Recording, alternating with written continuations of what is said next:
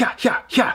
Hi everyone, Tight Suit Tano here, the internet's busiest music nerd, and it's time for a review of this new Kelela record, Raven. This is the newest full-length LP from alternative R&B singer and songwriter Kelela, one of my most anticipated albums of the year, and if you're in the know, the long-awaited follow-up to the fantastic Take Me Apart in 2017. So it's been a while since we've heard a new record from her, however, in the short time uh, that she had sort of broken out in the music industry, Kelela proved herself to be an artist worth waiting for, especially given how effectively she was able to define herself in an already saturated pool of left field R&B artists. But mesmerizing production and mystical songcraft will do that. And I would have been up for another helping of exactly that. However, it's been so long since the last record, it's hard to believe Kelela would just wait all this time to repeat herself. Thankfully, Raven is kind of a refreshing new approach, but one that as I listen to it again and again, I'm not finding it to be uh,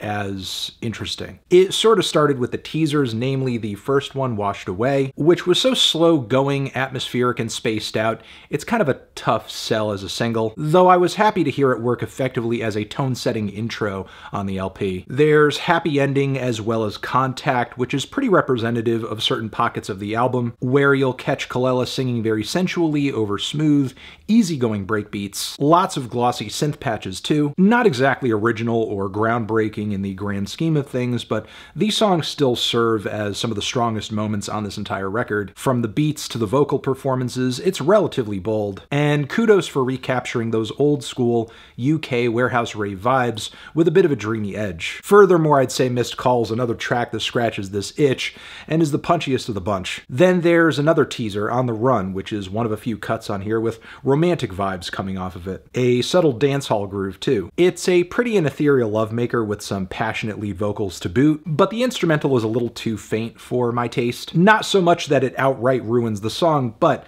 the sonic presence of this thing is so thin and lightweight, it's nearly anemic. And that's even more so the case for quite a few tracks on the back end of this thing, as I think this album starts a lot stronger than it finishes, with a pretty strong run of tracks right up until Closure, whose guest rap verse and dissonant chord changes on the back end are kind of jarring and wreck the mood, the momentum of the record so far in a way. But to my earlier point about the toothlessness of this LP, cuts such as Fooley as well as Holier, the cloudy passages of new agey bliss on these cuts bring the vibes for sure, but not much else because melodically and aesthetically they come off kind of deficient. And I wouldn't say Kelela's vocals pop out in the mix either, because there are moments on this album where they alone kind of carry the track uh, just not here though. Later cuts such as Bruises do pick up the pace here with some driving house beats, however, I found most of the additional rhythms and progressions brought into the track as it was moving along to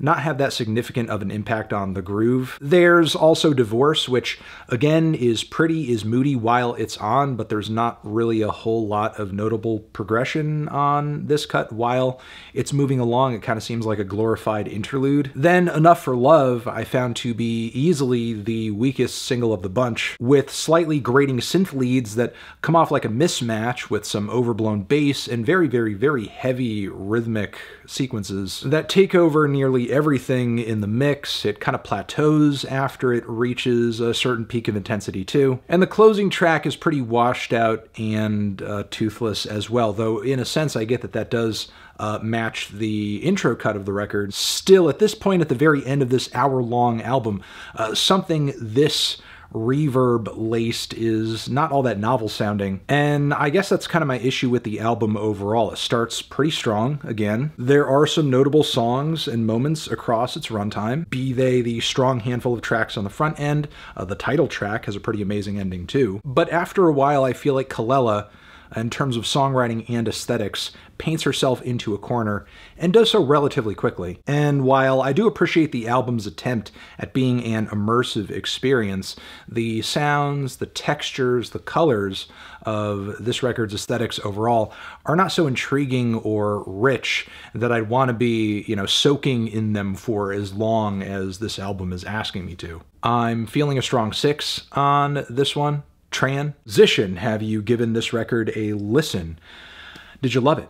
Did you hate it? What would you rate it? You're the best, you're the best. What should I review next? Hit the like if you like. Please subscribe and please don't cry. Hit the bell as well. Over here next to my head is another video you can check out. Hit that up or the link to subscribe to the channel. Anthony Fantano, Kelela, forever.